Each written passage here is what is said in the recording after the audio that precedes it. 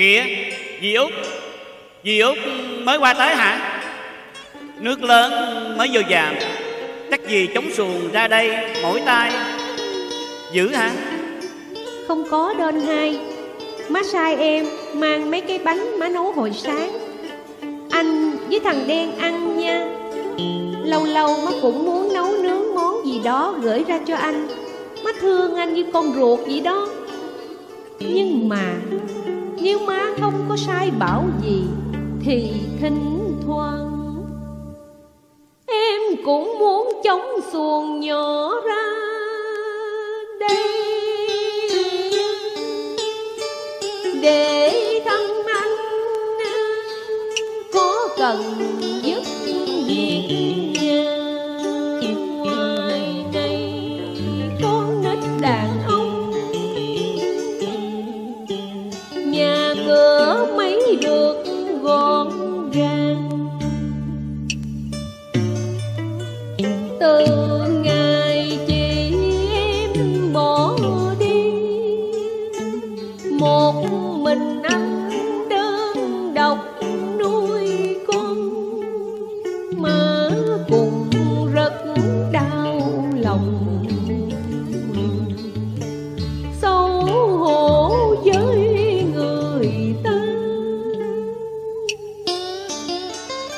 vì Út ai sao mà đã an bài, Tôi cũng đành cam chịu vậy thôi. Tôi cực khổ quen rồi,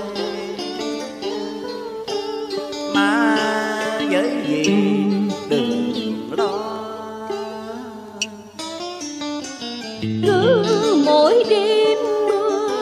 dầm vô lòng. Má rưng rưng mắt cứ ngó ra dàm Ở đây tôi cũng có sớm diện Tôi lửa tắt đèn có nhau. Vết lá mái tranh căn nhà của anh đã bao năm rồi không đôi. Chị hai em bỏ đi về một phương trời xa lạ Mà anh vẫn mãi ôm mang một giấc mộng không tan.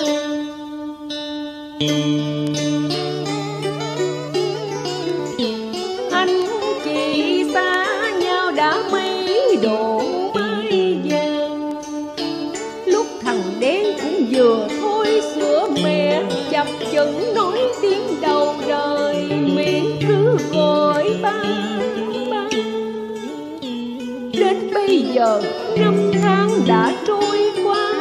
Thằng đen lớn dội biết nấu cơm quét nhà giặt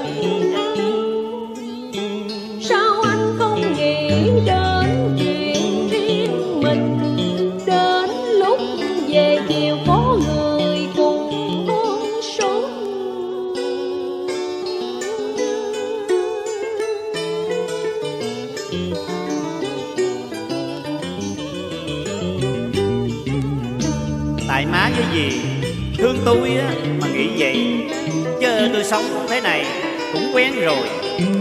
Cũng giống như vợ tôi đi đâu xa năm ba bữa vậy mà. Vì coi nè, Cái khăn của chị hai em dặn mát ở cây đinh.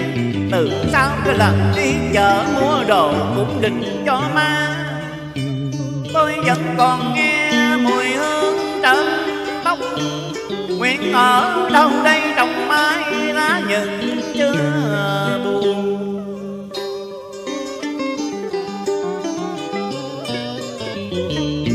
Chiếc áo bà ba như vừa bước qua thềm. Anh vọng tưởng cho chị em đã đi xa biệt dạng Hương vị nào còn gần một chục năm qua. Hương tình yêu làm Tại vì Út chưa yêu, Nên không thể nào hiểu được. Khi ai tâm hồn đã hòa chung làm một, thì dẫu xa cách muôn trùng, nhưng vẫn ở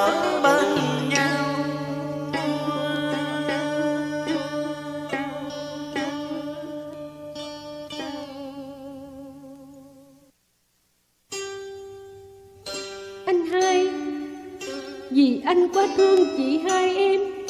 Nên lúc nào và bất cứ ở đâu, Anh cũng đều nghĩ là có chị của em bên cạnh. Sao anh không nghĩ đến những người khác Cũng đang ngày đêm lo lắng cho anh? Vì hỏi tôi Tôi biết hỏi ai đây? Câu duyên nợ do trời cao Nếu có thương tôi Xin gì với má? Đừng trách hờn Sự im lặng bấy lâu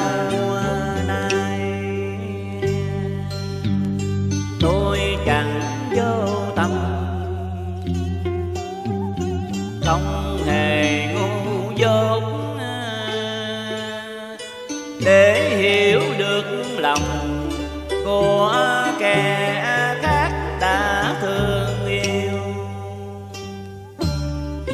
Nhưng tôi à, mãi lặng câm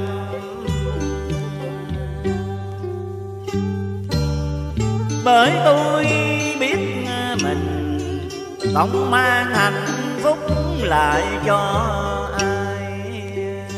Nhưng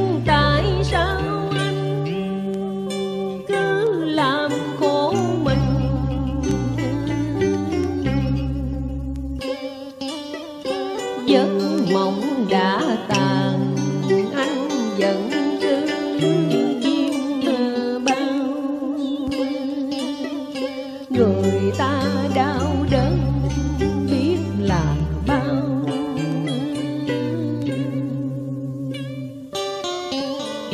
Từng cơn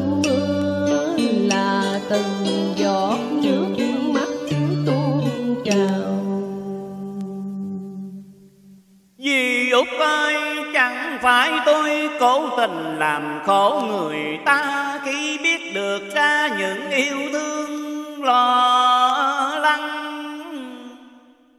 Nhưng tình cảm của tôi bây giờ dĩ như con nước, không biết chảy về đâu Khi tóc xè phai.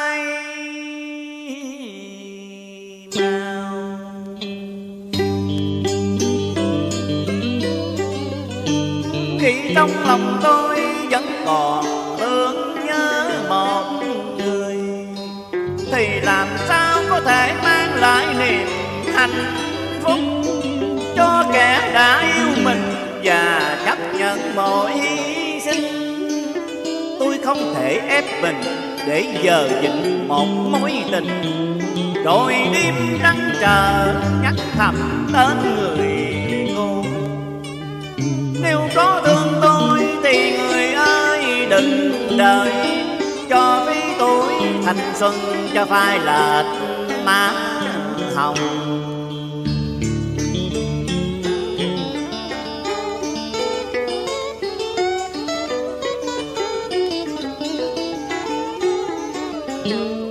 Anh hai Y anh đã quyết như vậy Em nghĩ chắc người nào đó cũng hiểu được đôi phần.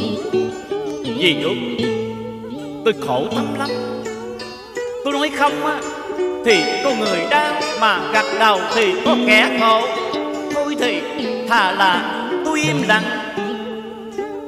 Anh hai ơi, nước sông lớn rồi lục bình trôi tan màn. Như những cuộc tình đơn phương rồi chẳng biết về ở bên nhà em mong đợi lâu lâu. Mà sai em ừ. trong xuồng qua đây thăm anh thăm dân nhiêu đó thôi cũng mừng vui khắp khởi. Và không biết tại sao cứ nghe rộn trong lòng. Thôi vì về đi kẻo con nước sắp rộng nán lại dây lâu 干。